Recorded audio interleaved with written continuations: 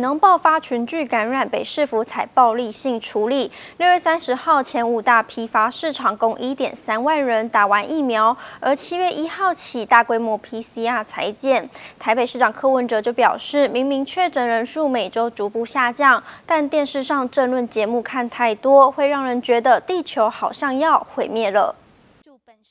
利用每日防疫记者会前空档，台北市长柯文哲特别致赠慰劳金给陆军第六军团。三三化学兵群、关渡地区指挥部、宪兵第二零二指挥部、三军总医院与台北市后备指挥部等单位，感谢他们自从疫情爆发以来，每天辛劳付出，守护民众的健康。其实国军弟兄是我们最可靠的一个伙伴，你知道，特别是在当时五月十六号，你知道吗？我们要在万华紧急成成立那个筛检站的时候。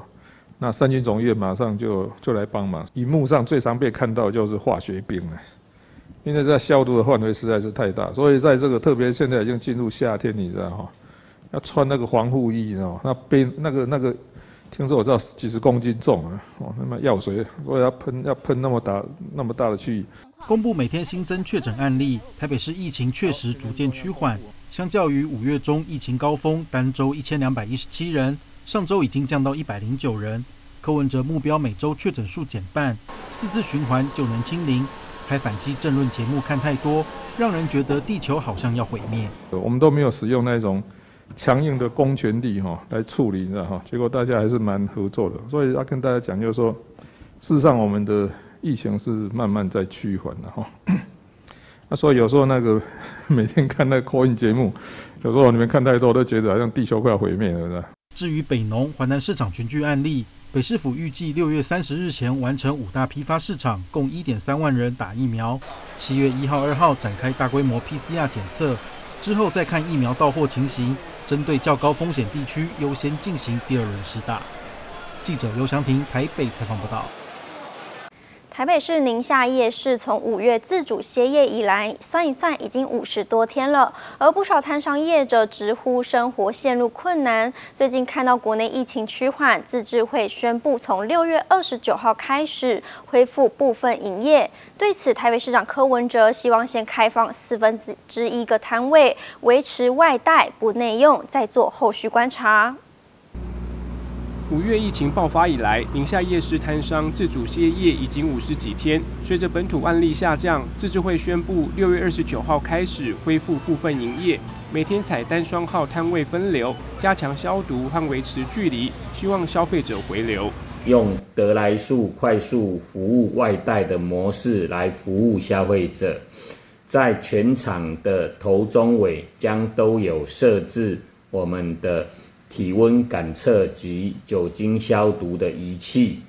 宁夏夜市共有一百八十个摊商，初期只开放四十摊，维持人流控管。台北市商圈率全国之先宣布进行为解封，市长柯文哲态度保留，希望先开放四分之一，再做后续观察。至于疫情热区的南万华，还是得严格控管。我们授权各个自治会，知道？你也不要说，我明天解封全部都开幕。我的建议是从四分之一开始开。南万华地区要管制，这叫申请制啊，要要我们审核通过，它才可以开，还是要维持那个不准内用的规定，因为这个脱下口罩吃饭哦，群聚这是最危险的。经济部其实对于啊相关场所啊，他们都有一些检讨，那也会去做盘点，适不适合啊整个防疫的措施适不适合可以开放。地方政府带头宣布商圈解封，指挥中心回应还是得依照中央定出统一标准，等到大家有共识才会为解封。目前还是维持外带不内用，避免群聚感染。记者邱世明台北报道。新冠肺炎持续扩大，为了迅速找出这些疑似的阳性个案，中流行疫情指挥中心也宣布开放居家快筛。不过，消基会却接获多位民众的投诉。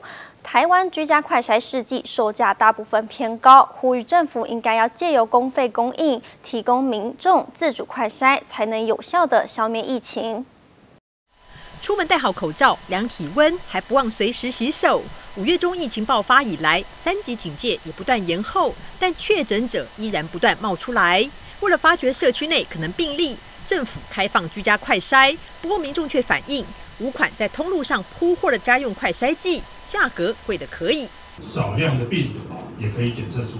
那么抗原的检测的试剂啊，它的优点是检测的速度比较快，核酸检测的试剂，它的准确度啊有到百分之九十七啊。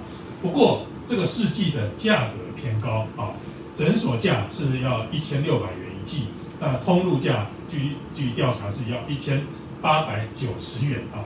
消基会认为，目前快筛剂会如此昂贵的原因，就是政府没有提供免费或公费快筛服务。建议若是在各地广设快筛站，在普筛情形之下，民众就没有购买居家快筛剂的需求。像英国，他就用公费的方式，给予一个人最起码两剂公费的快筛。我们有没有办法做？我们可以比照办理啊，各位。你把它想象成好像一个疫苗一样，每个人要打两剂。啊，让每个居家最起码在一个期间里面，他能够自主快筛。消基会呼吁政府应该要拿出去年管理口罩售价的魄力，正视快筛剂售价过高的现象。此外，业者也应供体时间，在短期提供比照国际的合理价格销售，以实际行动鼓励民众防疫，找出更多无症状感染源。记者顾灿勇台北采访报道。将装有萃取污水下水道维护十分不容易，台北市卫工处就结合卫生局还有环保局进行联合稽查，发现已经有七成的店家已经完成装设，也借此宣导业者定期清洁，才能维持正常功能，降低污水下水道的阻塞几率。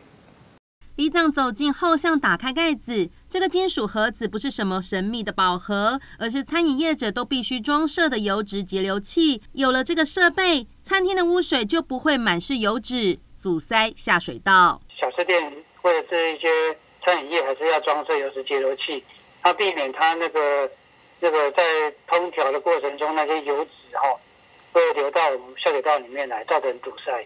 画面上这一张一张的照片。都是污水下水道被含有油脂的污水冲刷，遗留下的油脂变成油块，完全阻塞下水道。因此，卫工处结合卫生局、环保局进行联合稽查，发现有七成的商家都已经装设完成，但维护方面仍稍显不足。一次两次的宣导，其实大部分的商家都会配合，所以我们的那个水质的那个合格率大概有八成左右都会合格。